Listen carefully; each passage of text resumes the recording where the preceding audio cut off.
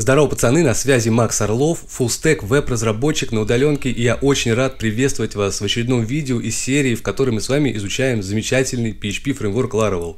Друзья, в предыдущем видео мы с вами познакомились с валидацией во фреймворке, а именно посмотрели вообще, что такое валидация, зачем она нужна, как делать валидацию в Laravel, различные способы валидации рассмотрели с вами, э, рассмотрели работу с сообщениями об ошибками, с переводами. В общем, видос был реально полезный, интересный, поэтому обязательно посмотрите. И даже если вы уже знаете, умеете пользоваться пользоваться валидацией, все равно посмотрите, потому что э, у каждого разработчика свой опыт, свои какие-то фишки. Я также стараюсь делиться своими наработками, своими комментариями. Вот поэтому э, в любом случае для вас это будет полезно и найдете для себя что-то новенькое. А в сегодняшнем видео мы с вами завершаем блок про валидацию и рассмотрим наиболее распространенные правила валидации, которые содержатся в фреймворке из коробки, а также как создавать свои правила валидации для своих задач. Давайте с вами переходим в документацию, в раздел Validation. И здесь нас э, опять же интересует раздел, который называется Available Validation Validation Rules, э, или в переводе как «доступные правила валидации». Здесь уже перечислены все возможные правила валидации, и мы сегодня посмотрим большую часть из них. Я прошелся по списку и выбрал наиболее распространенные,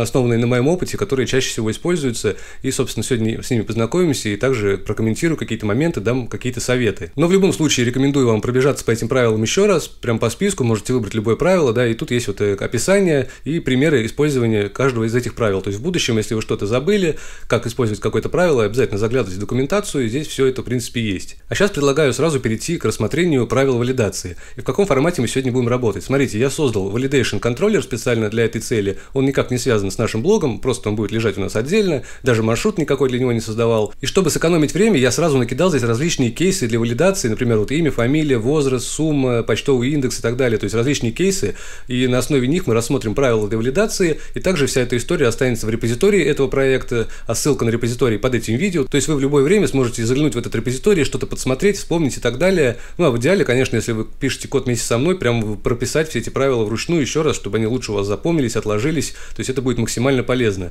А сейчас предлагаю э, постепенно будем раскомментировать по одной строчке и буду рассказывать, что здесь происходит, какие правила здесь используются и так далее. Парни, и прежде чем мы продолжим, я хотел сказать вот что. Предыдущее видео набрало около 60 лайков на текущий момент, а я рассчитывал все-таки на соточку. Так что, ребят, давайте немножко напряжемся, сделаем клик мыши, поставим лайк, в идеале напишите какой-то коммент, и давайте уже соберем хотя бы 100 лайков. Судя по количеству просмотров, для нас это не должно быть проблемой. Так что спасибо вам за лайк, за коммент, и давайте начинать. Смотрите, что у нас здесь вообще происходит в контроллере. Я добавил сюда публичный метод store, этот метод обычно используется для создания каких-то сущностей, то есть юзер у нас находится на страничке, там какая-то форма с кучей полей, вот эти все поля, собственно, прописаны у нас здесь, и отправляет эту форму на этот маршрут. Дальше у нас вызывается метод store в данном контроллере, да, приходит сюда запрос, и мы запускаем валидацию, просто вызывая метод validate на объекте request и получаем в ответ э, проверенные данные. Да? Ну, все это мы с вами делали в прошлом видео, здесь, я думаю, ничего для вас нового нет. И давайте теперь посмотрим, какие данные к нам присылает юзер и как мы можем их проверить. И первый кейс – это имя пользователя. Например, Максим.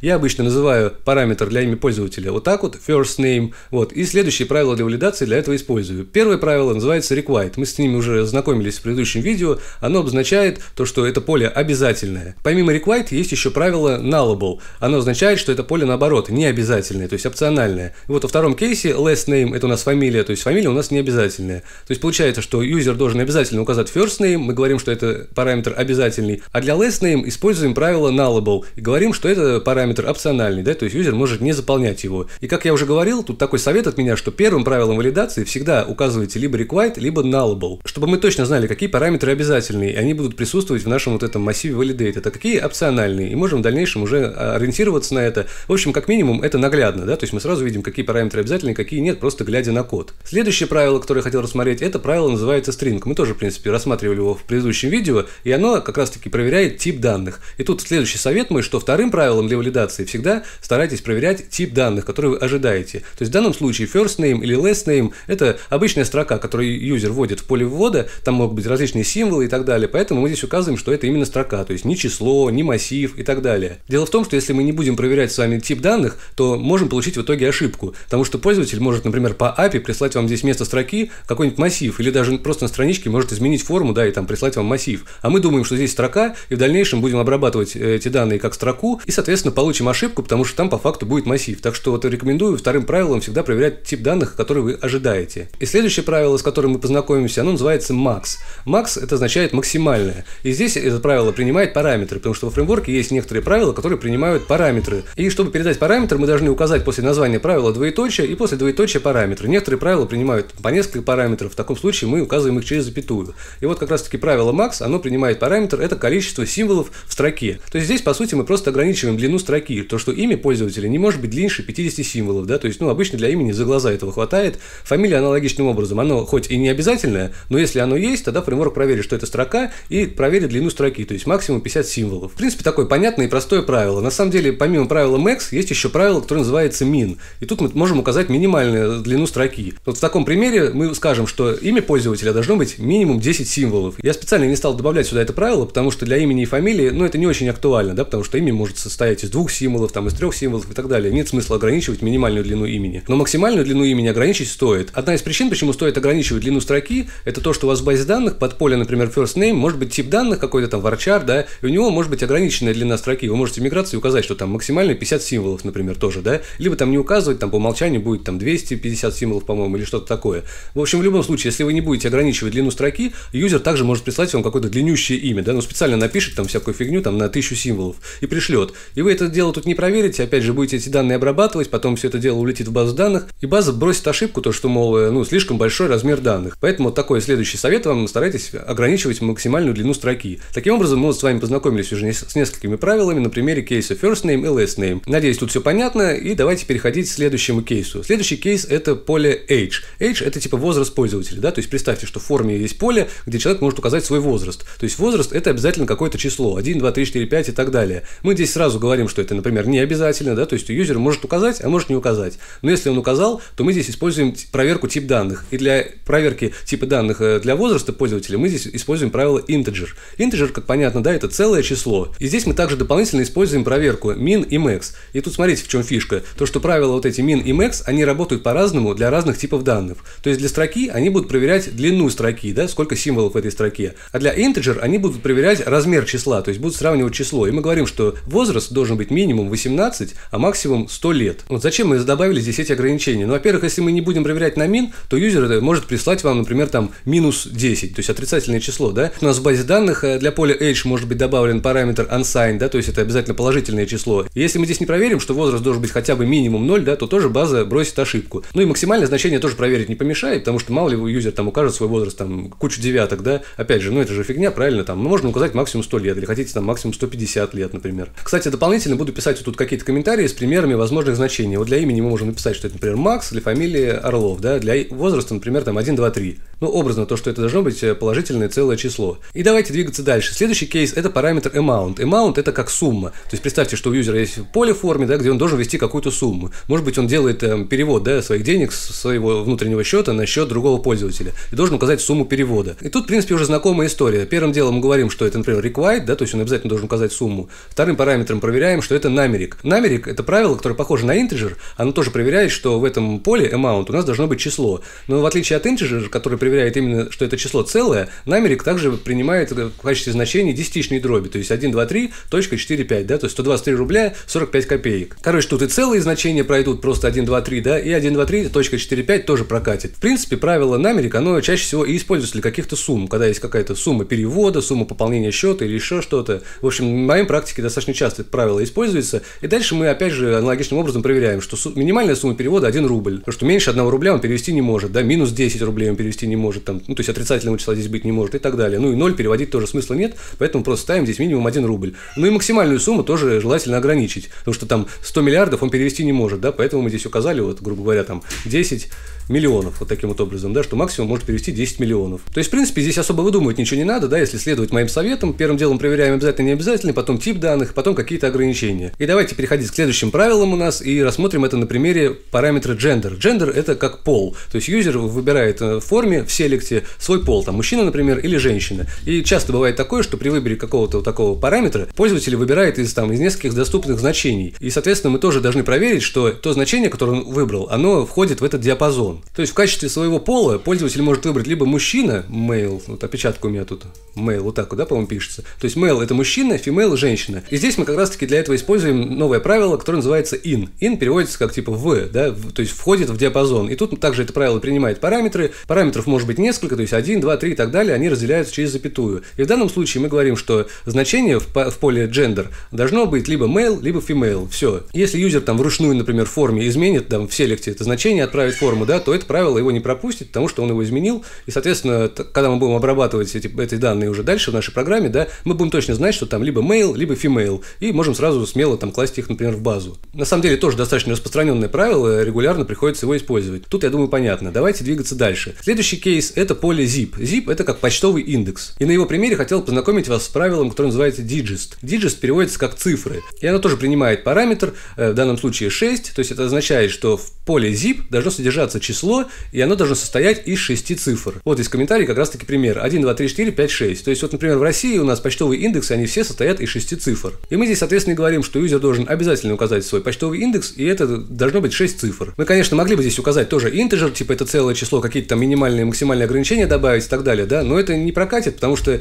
возможно, я точно не знаю, индекс может начинаться там, например, с нулей, да, какой-то вот такой вот быть. А это уже не может быть целым числом, да, то есть для PHP целое число будет вот так вот, да, не может оно начинаться с нулей. Поэтому как бы тут, тут интеджер не совсем правильно подходит, и минимум, максимум ограничивать тоже как-то неправильно. Поэтому именно вот правило digest э, с параметром 6 говорит нам о том, что в этом э, поле должно быть именно значение э, целого числа, состоящее из 6 цифр. Вот, кстати, я не уверен, проверяет оно или нет на то, что это должно быть именно положительное число, то есть чтобы оно отрицательное не может, ведь индекс не может быть, да, там минус 1, 2, 3, 4, 5, 6. Вот, и тут какие варианты есть? Смотрите, вот если вы что-то не уверены или не знаете, вы можете взять просто проверить. Мы можем зайти в Tinker с вами и использовать нашу глобальную функцию validate, которую мы с вами создавали в прошлом видео, и, например, проверить, что zip у нас 1, 2, 3, 4, 5, 6, и дальше добавить правило для валидации для него. Для zip говорим, что это digest и из 6 цифр. Запускаем, и видим, нам возвращаются проверенные данные. Значит, проверка прошла успешно. Если мы уберем одну цифру отсюда, да, то все, получаем исключение, значит, что-то там у нас не так. И давайте теперь попробуем указать отрицательное число для теста. Оп, опять получаем исключение, и значит, что э, отрицательные числа здесь не, не подходят, да, то есть можем запомнить этот момент, и, в принципе, в данном случае нам нет э, смысла добавлять сюда еще там какое-то ограничение, там минимум 0 и так далее. Поэтому, если что-то сомневаетесь, просто возьмите там в Тинкере в том же самом попробуйте и проверите, как это работает. И, кстати, второй совет, который хочу вам дать, если вы, опять же, не сомневаетесь в работе какого-то правила, да, то вы можете, помимо того, что проверить, как это работает в Тинкере, можете зайти в исходный код фреймворка и посмотреть реализацию этого правила, то есть как оно работает. Смотрите, для этого заходим в каталог Vendor, куда у нас композер устанавливает все зависимости, и здесь у нас также установлен фреймворк. Заходим в каталог фреймворка, называется Laravel, э, фреймворк, SRC, и здесь мы видим вот каталоги для всех сервисов фреймворка. Нас интересует валидация, поэтому заходим в Validation, и здесь нужно зайти в каталог Concerns и открыть файл класса Validates Attributes. И здесь как раз таки прописаны методы для валидации каждого из этих правил. Нас интересует правило digest. И смотрите, чтобы найти это правило здесь, здесь нужно понять, что все методы начинаются с э, слова validate. То есть validate before, validate before or equal, validate after и так далее. И нас интересует правило, соответственно, validate digest. Вот так вот легко его находим. И здесь сразу можем посмотреть, как это правило работает. То есть в этот метод у нас приходит attribute. Attribute – это название самого поля, то есть в данном случае это будет zip. Следующий параметр, который принимает этот метод, это value, то есть это то значение, которое пользователь ввел. И следующий – это массив, соответственно, параметров, которые мы указали для нашего вот этого правила. То есть в данном случае у нас один параметр, и он равен 6. То есть все это дело приходит в этот метод, и дальше мы видим, здесь проверяется, что количество параметров для правила digest минимум 1, да, то есть если мы здесь не указали ни одного параметра, да, то тоже будет ошибка, потому что digest ожидает обязательный один параметр. Вот, и дальше мы видим, как проверяется вот это value. Первым делом проверяется по регулярке, то, что в value должно содержаться только числа, да, то есть от 0 до 9 только цифры, ничего больше. И поэтому, собственно, у нас, видимо, и не срабатывает наше отрицательное число, потому что минус не входит в этот диапазон. И дальше проверяется уже длина строки, то есть наше значение, вот это числовое, оно приводится к строке и просто проверяется его длина. Таким образом, получается, что только цифры и определенная длина, которую мы передали вот в параметры для этого правила валидации. То есть, в принципе, ничего сложного здесь нету, да, обычный PHP-код, не надо бояться заглянуть иногда под капот, посмотреть, как это работает. Так что вот такие, ребят, моменты, давайте двигаться дальше. Следующий кейс – это у нас поле subscription. Subscription – это типа подписка. Например, смотрите, юзер у вас регистрируется на сайте, и у него там есть чекбокс, типа «хочу получать новости на email». То есть он может подписаться на рассылку. Но обычно это nullable, потому что юзер может подписываться, может не подписываться. Если он чекбокс не поставил, то к нам ничего не прилетит, значит, что тут будет nullable. Да? И мы при занесении в базу subscription должны там проверить, что если есть, то окей, а если нет, то значит false, да, там, например, ставим. И следующее новое правило, оно называется boolean. Оно как раз-таки тоже у нас стоит на втором месте, как видите, да, и оно, в принципе, и проверяет тоже тип данных, которые мы можем получить. Только помимо значений true и false, там может быть значение 1, 0, yes, no и так далее. То есть фреймворк для нас, ну, для удобства сразу проверяет какие-то похожие значения, которые тоже можно рассматривать как да, либо нет. Опять же, мы можем заглянуть в исходный код этого правила найдем здесь метод validates boolean, вот он, да, и в принципе здесь вот также видим массив доступных значений, true, false, 0, 1, потом 0, 1 как строка. А, если no, значит здесь нету, да, прошу прощения, сейчас исправим. Вот, и дальше просто проверяется, что то значение, которое пользователь ввел, оно входит в этот массив, да, доступных э, значений. Так что, в принципе, очень просто, да, единственное, что вот yes и no да, я немножко тут косякнул. На самом деле тоже достаточно частый кейс, да, когда юзер у нас может что-то выбрать или не выбрать. Э, обычно для чекбокса это удобно. Ну или по API тоже какие-то приходят к вам данные, да, там может быть true, либо false и, и так далее. Вот очень удобно всегда указывать, вот как раз-таки проверять тип данных на boolean. И следующий кейс у нас это поле agreement. Agreement это как соглашение. То есть это, в принципе, похоже как на subscription, тоже какой-то чекбокс у юзера. Опять же, он регистрируется у вас на сайте и должен принять там пользовательское соглашение. То есть там у вас чекбокс, да, я принимаю пользовательское соглашение. И тут у нас отличие от subscription в том, что agreement, соглашение, он должен принять всегда, то есть он должен обязательно поставить этот чекбокс. И для этого удобно использовать правило accepted. Accepted, э, как переводится, как принято. Оно, в принципе, похоже на boolean, только оно принимает в качестве значений именно только э, ну, значение относительно да. То есть либо true, либо один, и даже yes, по-моему, там тоже используется. Вот опять же можем взглянуть в это, реализацию этого правила. И вот тут доступные значения yes, on, один, true, true. Вот, и смотрите, что здесь интересного. Помимо того, что он проверяет, что это значение в этом параметре у нас входит в диапазон доступных вот этих значений, да, то тут еще первым делом проверяется, что этот параметр обязательный, то есть он тут вызывает метод validate required. И поэтому я здесь required не указал. Это, наверное, единственное правило, в котором нет смысла указывать э, дополнительно проверку required или не required, потому что оно под капотом уже так и так проверяется. Дело в том, что если мы укажем здесь required, а пользователь галочку, например, не поставил, да, тогда у нас будет сообщение об ошибке, типа это поле обязательное. Но оно как бы не совсем подходит для agreement, потому что мы бы хотели видеть сообщение, что вы должны принять соглашение, да, оно более правильное было бы здесь. И как раз таки текст сообщения для accepted, давайте перейдем в lang, ru, validation, да, в наше сообщение об ошибках, вот оно accepted, первым, на первом месте здесь стоит. Тут как раз таки и будет написано, что вы должны принять agreement, да, или там соглашение. И, соответственно, если юзер поставил чекбокс, то все окей, никаких ошибок нет. А если не поставил, то он должен всегда видеть вот это сообщение об ошибке. Поэтому правило required, оно здесь нам немножко помешает, так сказать, да, будет не очень красиво, потому что там будет другое сообщение об ошибке.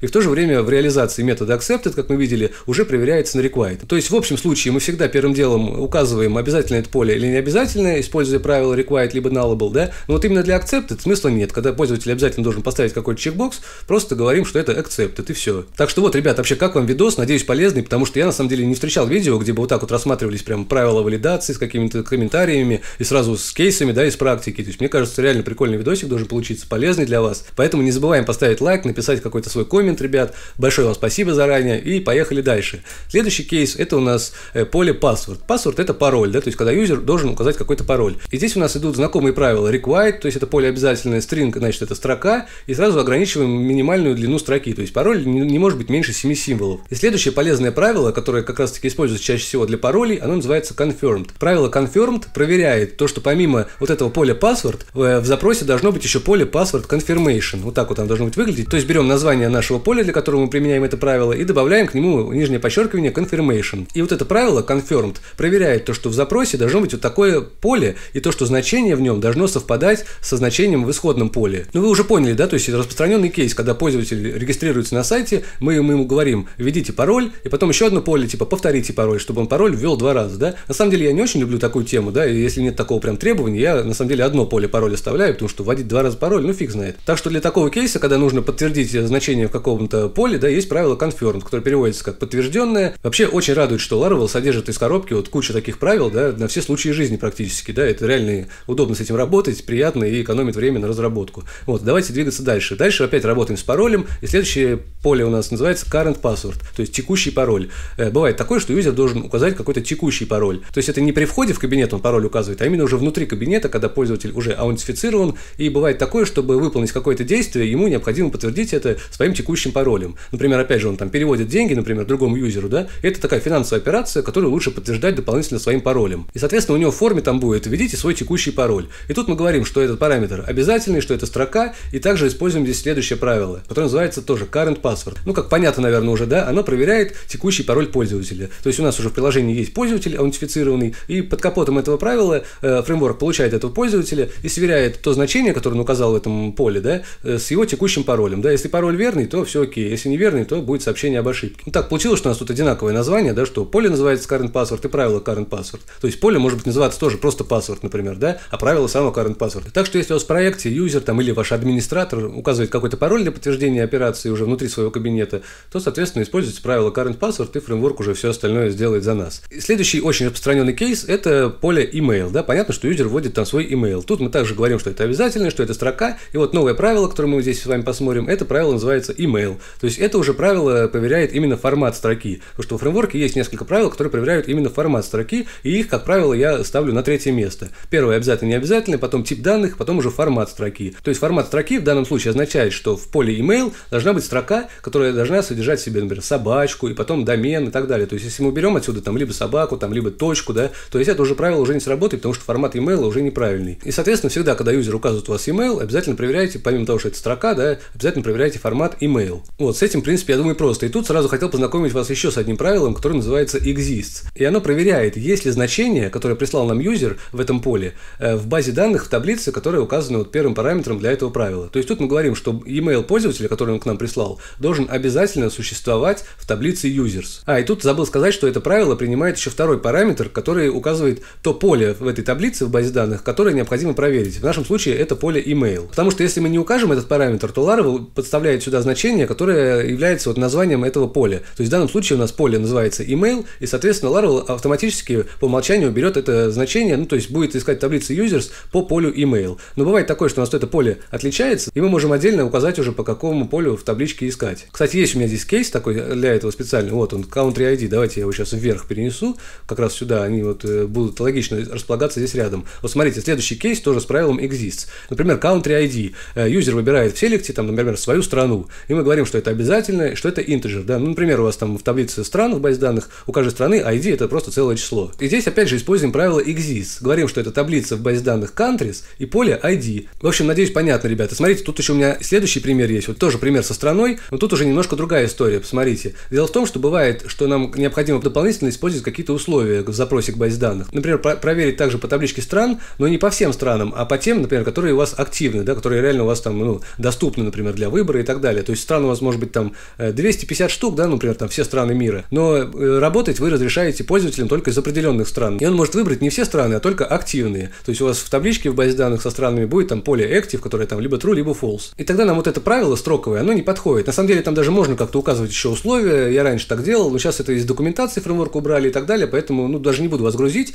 Если вам нужно указать какие-то дополнительные условия к вот этом запросе к базе данных, то вы должны использовать вот этот класс rule. Он находится у нас вот э, в Illuminate Validation Rule, да, импортируйте его сюда, и он имеет метод exists, да, одноименный метод, так же, как вот это правило называется exists. Первым параметром мы передаем сюда табличку базе данных, и также мы дальше можем добавлять какие-то условия. Например, where active равно true. И тогда у нас значение из country ID будет проверяться по табличке стран, по полю ID, у тех стран, у которых active равно true. То есть, в принципе, нормально выглядит, удобно пользоваться и так далее. Причем вы можете добавлять туда больше условий и даже более сложные условия. Давайте посмотрим, как это в документации нам написано. Вот оно здесь посерединке у нас, переходим в него. И, в принципе, здесь вот наши примеры, которые мы с вами рассмотрели. И дальше вот идет следующий пример, что вот, например, email, да, он обязательный. И дальше используется как раз этот класс из eliminate validation rule exists в табличке step. И дальше в метод where мы можем передать функцию обратного вызова, который принимает в себя объект query, и на этом query мы уже можем указывать различные условия. То есть мы условий может быть несколько, да, тут одно, второе, третье можем добавить. То есть используя вот функцию обратного вызова, мы имеем с вами полную гибкость и можем как угодно фильтровать наши вот эти запросы к базе данных. Но в простом случае вместо функции обратного вызова, вот как в нашем примере, мы можем просто указать, какое поле и какое значение в нем искать. Так что, ребят, запоминайте хотя бы, какие есть возможности во фреймворке, да, что он нам предлагает, что в будущем в нужный момент вспомнить, что ага, вот так же можно было делать. Если что-то не помните конкретно, как это делать, да, вы всегда посмотрите документацию, это не проблема. Да, главное иметь в голове понимание, о каких вообще возможностях идет речь. И давайте переходить к следующему правилу. Следующее правило у нас э, называется URL. URL это, в принципе, аналогично вот правилу email, оно просто проверяет формат строки. То есть, например, юзер у нас может указать свой сайт или там ссылку на свой инстаграм или еще что-то, да, и это должно выглядеть вот таким вот образом. То есть протокол используется у нас, доменное имя и так далее. Может быть, какой-то путь там дальше идет. И вот это правило именно проверяет э, формат вот этой строки. Ну, тут, в принципе, все просто, задерживаться не будем. Следующее правило, э, аналогичное, в принципе, тоже проверяет формат строки, это UID. UID, если не знаете, это уникальный идентификатор. Ну, для примера я вот так накидал, вот так вот примерно он выглядит. На самом деле, не часто приходилось использовать это правило, но просто имейте в виду, если что, оно есть. И следующее правило тоже, опять же, формат строки проверяет, это IP, да, то есть проверяем IP-адрес. Опять же, юзер может быть, там указать IP-адрес, или у вас какой-то есть табличка, где у вас хранятся там IP-адреса ваших пользователей, когда они входят в кабинет и так далее, и у вас какой-то сервис есть, который записи в эту табличку вносит. И этот сервис, какой-то класс, да, принимает параметры, там, ID юзера, там, дата входа, IP-адрес и так далее. И там вот внутри этого сервиса можете сделать валидацию, да, и проверить, что один из параметров это вот строка и именно IP-адрес. IP-адрес, да, вот для примера, там вот локальный 127.001. Ну, в общем, думаю, тоже здесь никаких проблем нет, все просто, давайте двигаться дальше. Вот следующий кейс интересный, он называется аватар. Аватар – это кейс, когда юзер э, выбирает изображение, да, свою аватарку, то есть он выбирает файл и отправляет его к вам на сервер. И тут мы говорим, что это поле обязательное, что это файл, вот это новое правило наше, да, то есть в поле файл именно проверить, что это именно юзер выбрал файл и отправил его к нам. То есть очень удобно. И более того, мы даже можем дополнительно проверить, что это изображение, да, то есть в общем случае вы можете просто оставить, например, файл и все, да, но если это именно картинка, да, то можете добавить сюда правило image. Также здесь у нас действует правило max, в котором мы можем указать размер файла, то есть min и max для файлов уже также проверяет размер файла. То есть мы можем указать минимальный размер файла, да, но это редко нужно, да, либо максимальный. Вот в данном случае 1024 килобайта, то есть, грубо говоря, там 1 мегабайт, можем так написать, 1 мегабайт. И, соответственно, получается очень удобно. Юзер выбирает файл, мы сразу проверяем, что это реально файл, что это картинка, и там максимальный размер проверить, и дальше уже можем там загрузить этот файл, сохранить путь к нему и так далее. На самом деле, я уже давно не пользовался вот этими правилами для файлов, потому что я использую для хранения, обработки файлов специальный сервис. Он платный, но он очень крутой, вообще прям реально решает кучу задач, вообще головника столько снимает, ну прям вообще никаких проблем с файлами нету.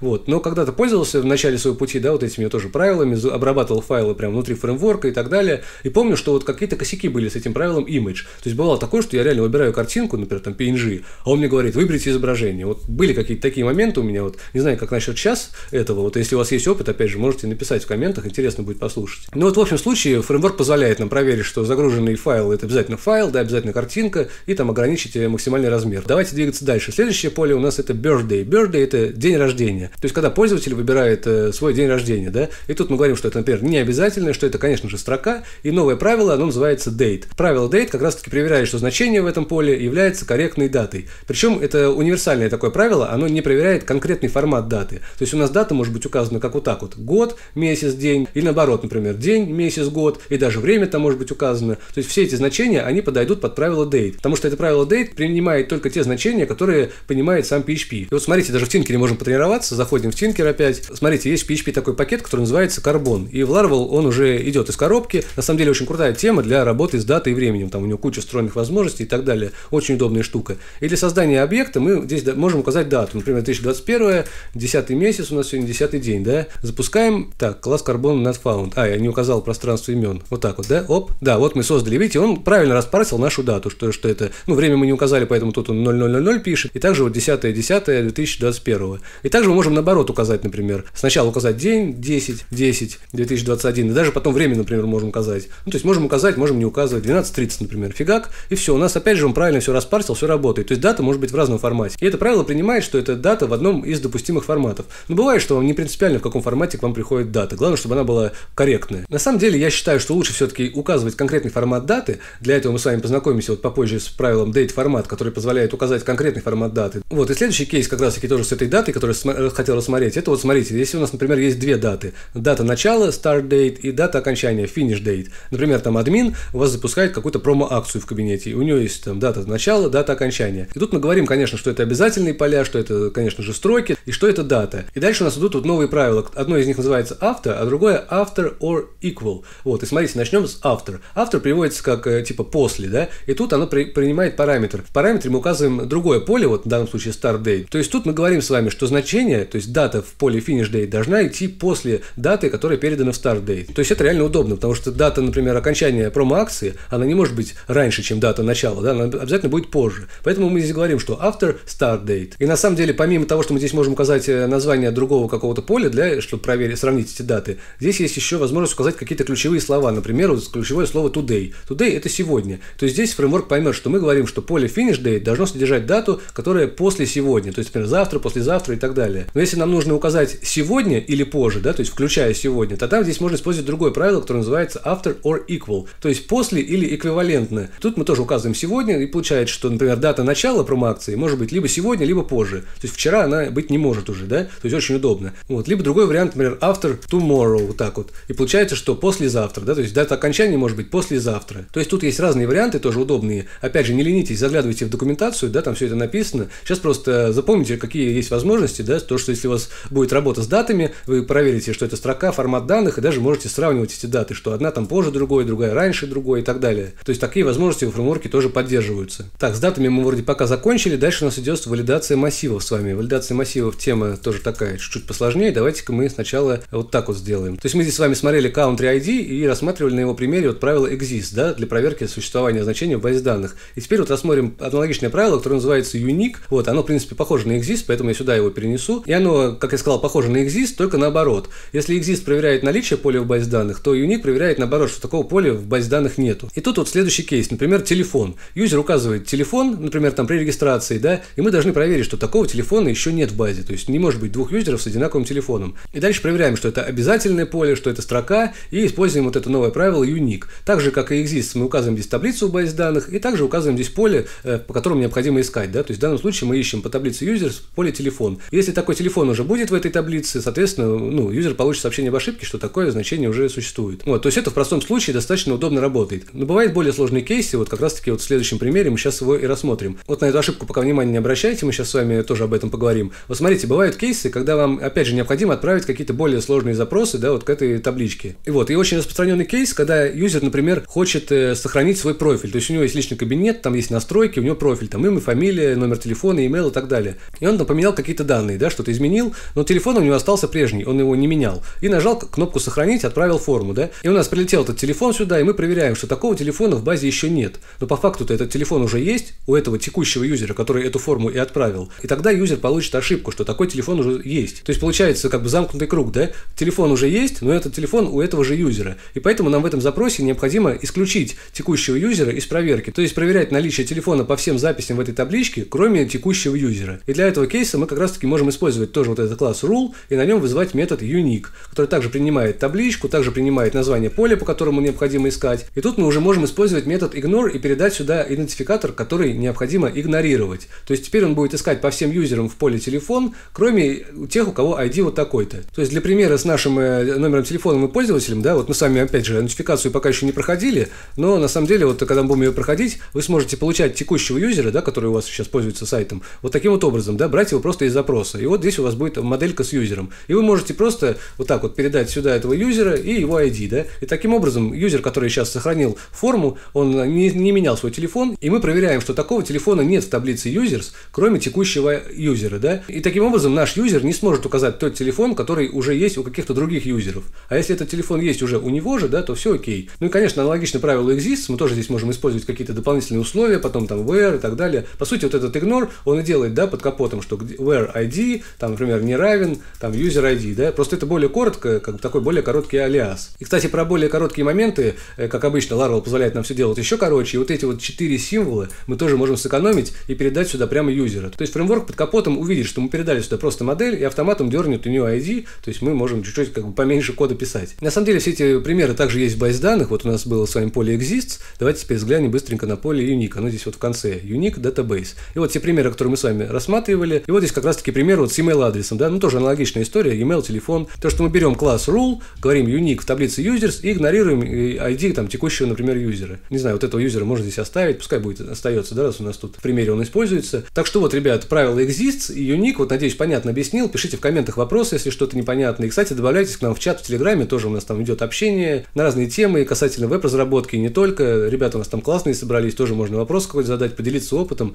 Э, так что милости просим, и мы давайте сейчас продолжаем. И сейчас, не отходя от кассы, сразу рассмотрим вот такую историю. Это называется кастомные правила валидации. То есть мало того, что фреймворк содержит кучу правил валидации из коробки, так он позволяет нам еще создавать собственные правила валидации. И зачем вот нам, например, здесь вот это правило фон? Дело в том, что для email у нас с вами уже есть э, правила для проверки формата строки, где у нас там email адрес, вот он email, да, и здесь у нас есть правило email, которое проверяет, что это именно корректный email адрес. А вот для телефона у нас нет такого правила, которое мы могли бы вот так вот использовать, просто телефон и все, и знать, что там именно корректный номер телефона. Потому что в разных странах разные форматы телефонов и так далее, тут уже все зависит от задач проекта, поэтому фреймворк как бы не берет на себя ответственность. Но в данном случае мы можем сами создать вот такое кастомное правило и использовать его э, как мы хотим. И давайте как раз таки на примере вот номера телефона попробуем это сделать. Для создания кастомных команд, конечно же, используется команда PHP artisan make rule. Rule переводится как э, правило, да, и дальше указываем название правила. В нашем случае это будет телефон. Правило успешно создано, и оно попало у нас в каталог app rules, и вот он наш класс телефон. На самом деле здесь все очень просто. Здесь есть конструктор, который может принимать какие-то параметры, когда мы создаем объект этого класса, сейчас дальше продемонстрирую. Потом здесь есть метод passes, который принимает в себя название атрибута, да, то есть в данном случае это будет фон, то есть название нашего поля, и его значение, которое юзер ввел в это поле. И здесь мы должны вернуть либо true, либо false. И, соответственно, если true, то это правило, значит, успешно прошло, все окей, а если false, тогда будет ошибка. И сообщение об ошибке мы как раз-таки указываем в следующем методе вот здесь вот, то есть мы можем использовать здесь нашу функцию для локализации, да, чтобы, если что, в будущем не было проблем с переводами, и написать здесь какое-то сообщение, например, неверный номер телефона. То есть, в принципе, все, ребят, реально очень просто, создали правила, сразу описали здесь логику проверки, или вернули true либо false, и если false, то вот такое сообщение юзер увидит. И для примера с телефоном, как мы можем, например, проверить? Мы можем использовать здесь регулярные выражения, вот, и, например, сказать, что вот у нас э, начало строки, конец строки, потом указать, что это диапазон, цифры, да, от 0 до 9, и что этих цифр может быть там, ну, я точно не помню, там, например, там от 10 до 20 штук. Ну и, конечно же, передать сюда value, то значение, которое ввел пользователь. То есть мы здесь, грубо говоря, проверяем, что в значении должны быть только цифры в количестве от 10 до 20 штук. Вот, и можем вот привести это к boolean, да, потому что preg match возвращает количество найденных совпадений, вот так вот переводим это в boolean, и, соответственно, у нас уже все будет работать. Кстати, сейчас вы можете подумать, почему бы нам здесь не использовать просто вот это правило digits, да, указать, например, что 10 цифр, да, просто мы же смотрели с вами на это правило, да, где он, например, почтовый индекс указывает, и digits означает 6 э, цифр. А тут мы укажем 10 цифр, да? Ну, телефоны могут быть разные, там, может быть, где-то, там, не знаю, 10, 20 цифр и так далее. На самом деле, во фреймворке есть еще правило, которое называется digest between, вот оно тут рядышком, и оно работает вот как и digest, только digest принимает одно значение, то есть фиксированное количество цифр, а digest between переводится как э, цифры между. И тут мы указываем минимальное и максимальное. То есть тут мы можем указать диапазон, что, например, наш телефон, вот digest between, может быть, от 10 до 20 цифр, да, и все. Но дело в том, что это, в принципе, будет работать, но тут два минуса. Во-первых, для digest between будет сообщение об ошибке не очень прикольное, да, ну, не подходящее к телефону. А во-вторых, если у вас там номер телефона в нескольких местах сайта, и везде у вас будет digits between, а потом что-то где-то поменяется и так далее, надо будет везде менять. В общем, это будет не очень удобно, на самом деле, и именно вот в данном кейсе лучше создать кастомное правило, что мы с вами уже и сделали. И чтобы его использовать, мы просто создаем экземпляр объекта нашего правила, да, вот фон, также не забываем его сюда импортировать сверху. И, в принципе, все, ребят, теперь это правило у нас будет работать. Внутри этого класса у нас описана логика проверки, сообщение об ошибке, и мы даже можем сюда передавать какие-то даже еще там дополнительные параметры. Ну, реально бывает удобно для каких-то других кейсов.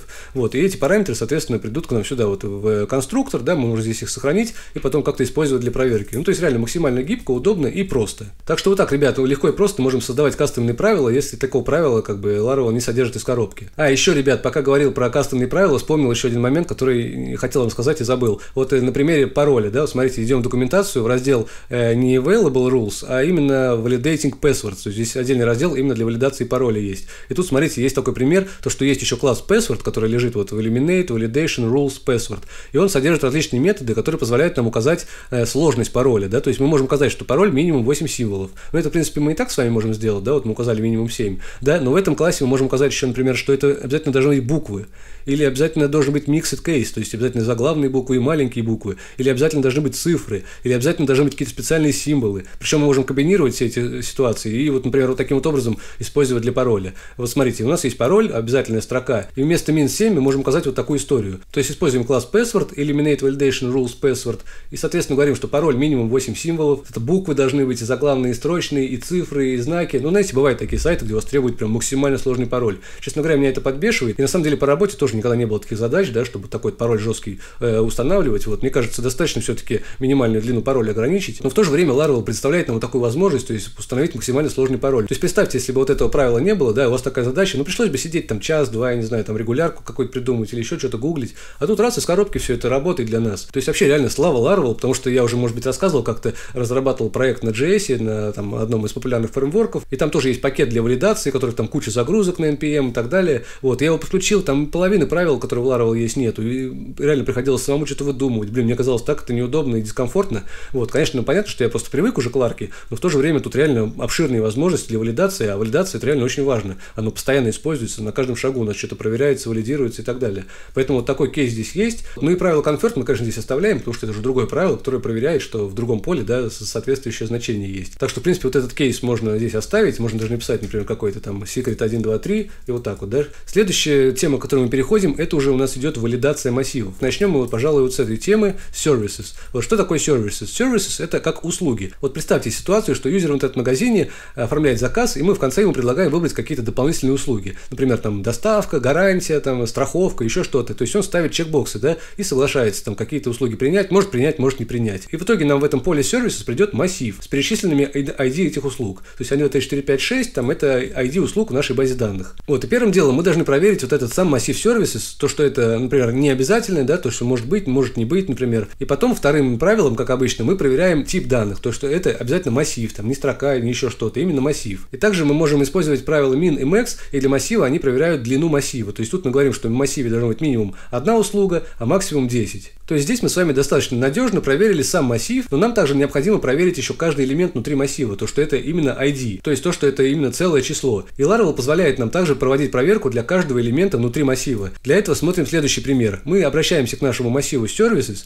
и дальше через точку и с указанием звездочки обращаемся к каждому элементу массива. Ну, в принципе, наглядно, да, services, потом внутри и звездочка означает каждый элемент массива. И вот эти следующие правила применятся уже каждому элементу массива. То есть мы каждый ID-шник вот этот проверим, что он обязательный и что это целое число. Если необходимо, здесь также можно использовать правила exists по табличке, например, там это services, да, ну пускай у вас будет одноименная табличка в базе данных, services и по ID, да, но тут нужно учитывать, что вот это правило exists, оно будет срабатывать для каждого элемента массива. То есть если у вас там будет 10 элементов, то 10 раз у вас отправится запрос к базе, и каждый отдельно проверится. Поэтому, может быть, имеет смысл как-то отдельно это проверять потом дальше, а здесь просто проверить, что это обязательно и целое число. Я бы так и сделал, в принципе. Вот. Но если что, то есть для примера, да, то, что вы можете проверить каждый элемент массива и указать для него отдельные правила. То есть это был первый пример, когда у вас есть массив, и в нем какие-то одинаковые значения, там цифры, строки и так далее. И вот теперь следующий, более сложный пример. А вот сюда он у нас каким-то образом уехал, вот он, называется delivery. Delivery – это как доставка. Вот и представьте, что юзер у вас э, указывает, например, дату и время доставки. Там два отдельных поля. Выберите дату доставки, выберите время доставки. И потом все это дело прилетает вам в качестве массива. Вот таким вот образом. То есть в массиве есть ключ date, который содержит дату, да, в таком формате,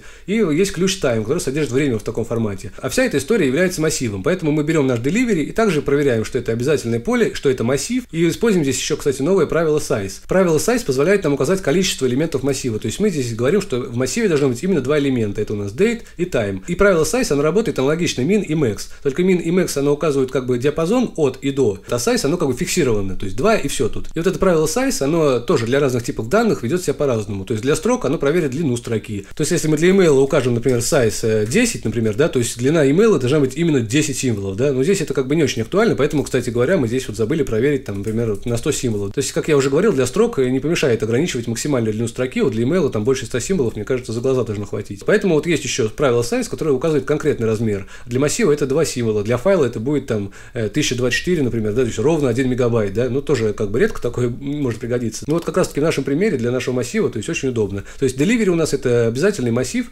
с двумя элементами. Все. И теперь нам нужно проверить отдельно каждый элемент в этом массиве. Но тут разница с сервисами в том, что в сервисах у нас каждый элемент массива это просто число, да, то есть просто айдишник. Но с доставкой у нас другая история. У нас date это дата доставки, тут должна быть, тут должно быть одно правило, да, проверить формат данных, что есть год, месяц и так далее. А время это уже время доставки. Тут уже другое правило, да, что это часы, минуты, секунды, то есть уже другой формат. И хорошая новость в том, что Laravel позволяет нам также обращаться к ключам в массиве по их э, названию. То есть, смотрите, для даты мы говорим, что delivery, и также через точку говорим, что это date, то есть ключ date. Простыми словами, когда мы используем звездочку, то Laravel применяет это правило ко всем элементам массива. Но если вместо звездочки мы указываем конкретный ключ, то Laravel применяет эти правила конкретно для значения в этом ключе. И тут мы говорим, что delivery date это обязательно, это строка, и дальше мы используем новое правило date формат. Мы с вами уже говорили про дату, да, и в принципе date формат, оно действует аналогичным образом, за исключением того, что мы здесь указываем конкретный формат даты. То есть тут мы говорим, что это год, потом точка, потом месяц, точка и день, да. То есть дата может быть только в таком формате и никак иначе. Причем у вас должно быть одно из двух правил, либо date формат, либо date. То есть нет смысла указывать отдельно сначала date,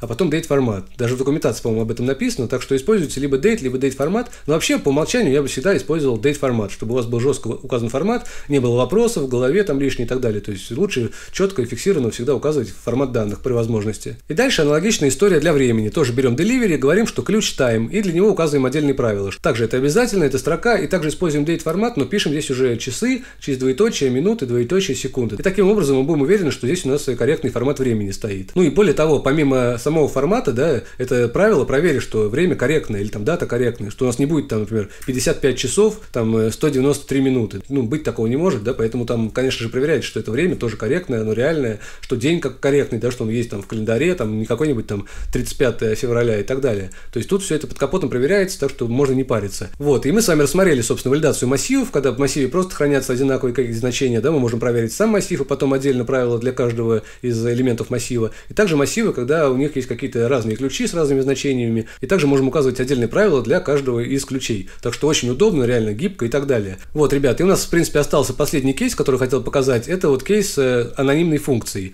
Вот смотрите, у нас, к примеру, есть какой-то параметр secret. Ну, это такой абстрактный пример, что юзер какой-то там секретное поле или там по API какой-то секретный токен присылает, какое-то, например, значение, которое должно совпадать со значением, которое хранится у вас в конфиге. То есть мы используем здесь э, глобальную функцию config, э, указываем файл example и в нем параметр foo, да. Если мы перейдем в config example, у нас уже есть, да, мы с вами создавали его в одном из первых видео. Вот, и тут у нас уже есть параметр foo, значение которого берется из переменной окружения example foo, то есть из файла .env. Давайте туда заглянем. И вот, как видим, вот у нас example foo, значение сейчас bar. Или вот у нас тут example secret есть, оно, походу, нигде у нас не используется. Давайте добавим сюда secret. Вот так вот. Secret, example secret. То есть и там у нас будет сейчас значение с вами вот secret 1, 2, 3. Давайте возвращаемся в контроллер, здесь тоже изменим на secret. И таким образом мы хотим убедиться, что в поле secret у нас значение, которое совпадает да, со значением из конфига. Вот, и в Laravel, в принципе, нет такого правила из коробки, которое может нам в этом помочь. Если хотите, для удобства можем заново написать. То есть вместо одного из правил мы указываем сюда функцию. Эта функция принимает первым параметром уже знакомый нам attribute, да, это похоже было на то, как мы использовали вот валидацию телефона. Первым параметром тоже приходит attribute, это, собственно, название нашего поля, то есть сюда придет secret в данном случае. Вторым параметром приходит value, это то значение, которое юзер нам указал.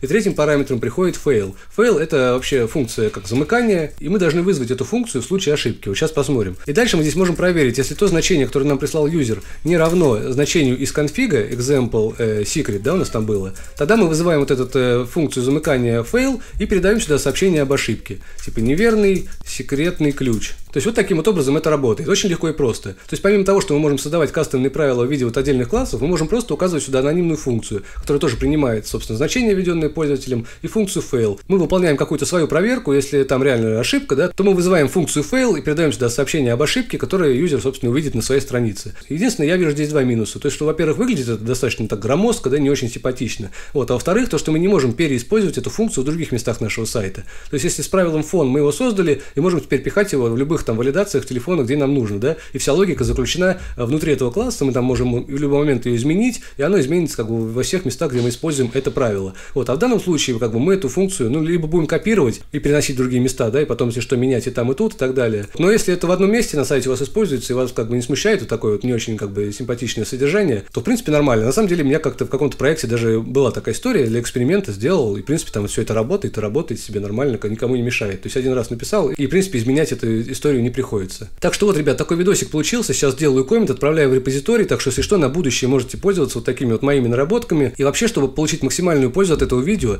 рекомендую вам такое домашнее задание выполнить самостоятельно. Создать какой-то метод здесь, который возвращает страничку, например, validation index. На этой страничке разместите HTML-форму со всеми вот этими полями, которые мы с вами здесь описали. Вот, и попробуйте отправить эту форму на этот маршрут и проверить, правильно здесь приходит валидация или нет. Единственное, что вот этот юзер у вас не получится, да, потому что у нас еще нет входа в кабинет, нотификации, и тогда придется закомментировать это правило, да. Возможно, я где-то здесь допустил опечатку, потому что мы же не тестили все это, да. Но, в принципе, я думаю, должно быть все нормально, поэтому вы можете создать страничку, форму, подправлять сюда, повыводить сообщения об ошибках, попрактиковаться, что-то самому еще сделать. То есть это реально будет очень удобно. На самом деле, я изначально хотел так сделать, но потом подумал, что это будет очень длинное видео, если мы с вами будем такую форму верстать большую, потом каждое правило отдельно прописывать и так далее. И решил просто написать все заранее и постепенно как бы вот вам об этом рассказывать. Вот, ну, по-моему, видос получился прикольный, интересный, полезный. И, ребят, поэтому ставьте лайк. Спасибо вам большое за просмотр. До встречи в нашем телеграм-чате. Пока.